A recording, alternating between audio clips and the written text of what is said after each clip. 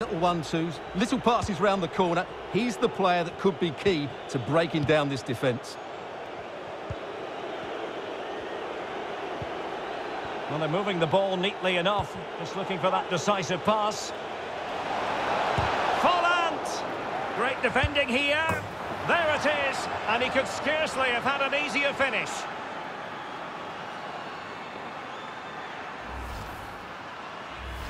Well, as you can see, the defending...